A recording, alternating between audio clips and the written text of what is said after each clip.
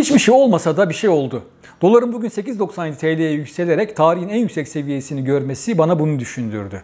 Bugünkü yükselişin arkasında çünkü Reuters'ın isimsiz kaynaklara dayandırdığı ve gün içinde Cumhurbaşkanlığı tarafından yalanlanan bir haber var.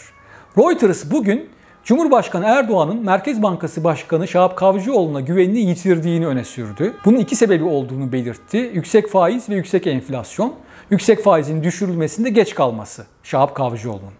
Aslında buraya kadar olan kısım bu kanalın izleyicileri için çok yeni bir gelişme değil. Ben bu kanaldaki videolarımda ve T24'teki yazılarımda Cumhurbaşkanı Erdoğan'ın Merkez Bankası Başkanı Şahap Kavcıoğlu'na soğuk davrandığını, bir külliye ile Merkez Bankası arasında bir soğukluk olduğunu söylemiştim.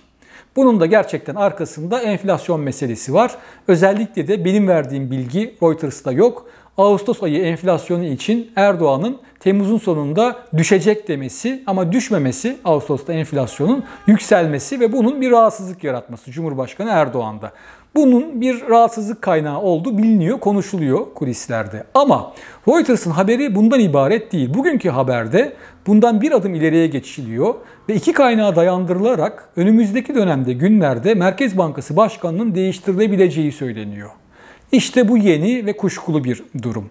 Kuşkulu diyorum çünkü birincisi benim kaynaklarım bu haberi doğrulamıyor. Yani böyle bir gelişme olduğuna, böyle bir hazırlık olduğuna dair herhangi kulislerde çok fazla konuşulan bir bilgi yok. Elbette bu benim veya bizim bilgisizliğimiz olabilir.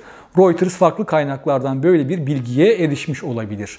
Ama beni kuşkulandıran bir başka durum daha var. O da bunun bir spekülasyon kapsamında sızdırılmış bir bilgi olabileceği kuşkusu diyelim. Bunu da dünkü videomda belirtmiştim. Dün Timothy Ash biliyorsunuz uluslararası yatırım kuruluşu Blue Bay Asset Management'ın yöneticisi. Türkiye'deki en eski yabancı yatırımcılardan bir tanesi. Dün Şahap Kavcıoğlu'nu hedef alan birkaç tweet attı arka arkaya. Bir kere Reuters'ın bugünkü haberinden önce 24 saat önce Timothy Ash Twitter'da dedi ki Şahap Kavcıoğlu bu yılı Merkez Bankası'nın başında tamamlayamayacak. Başka bir tweette CV'sini Şahap Kavcıoğlu'nun özgeçmişini yenilemesi iyi olur dedi yine Timothy Ash. Bir başka tweette ise şu anki başkan yardımcısı Semih Tümen'in Şahap Kavcıoğlu'nun yerine aday olduğunu öne sürdü. Timothy Ash. Bunlar da fol yok yumurta yok nereden çıktı diye düşündüren tweetlerdi. Ve yabancı yatırımcılar olunca milyarlarca dolar masanın üzerinde durunca insan ister istemez elbette kuşkulanıyor. Gözü kapalı büyük dev yatırım kuruluşlarına güvenecek halimiz yok işin doğrusu.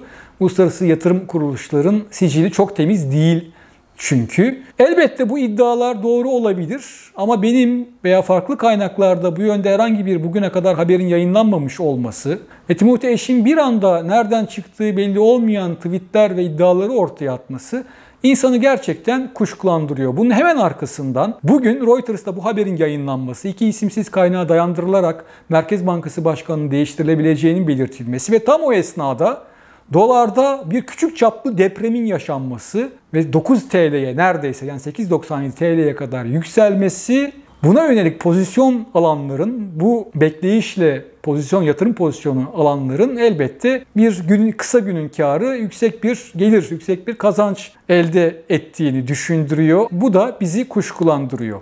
Bununla birlikte bir başkan değişikliğini yapmaz mı Cumhurbaşkanı Erdoğan? Evet pekala da yapabilir diğer taraftan. Bugüne kadar sadece bir yıl içinde 3 başkan değiştiren bir Cumhurbaşkanı dördüncüsünde pekala bir anda bir gece yarısı kararıyla bir Cumhurbaşkanlığı kararlı kararıyla dördüncüsünde değiş atayabilir Merkez Bankası'nın başına. Bu eğer bu olasılık gündemdeyse bu önümüzdeki günlerde, haftalarda dolar TL'de yeni artçı şoklar hatta belki de yeni depremler yaratmaya aday. Bir gece yarısı eğer böyle bir kararla karşılaşabilirsek bir cuma gecesi ya da herhangi hafta içi bir günün gece yarısı resmi gazetede yayınlanan bir karar dolar TL'de yeni depremler yaratmaya aday gözüküyor. Dolar bu haberle Reuters'ın bu haberiyle 8.90 TL'ye kadar yükseldi bugün. Daha sonra akşam saatlerinde 8.92 seviyesine kadar gevşedi. Yükseldikten sonra düşmesinin arkasında Cumhurbaşkanlığı İletişim Başkanı Fahrettin Altun'un Reuters'ın bu haberini net bir dille yalanlaması var.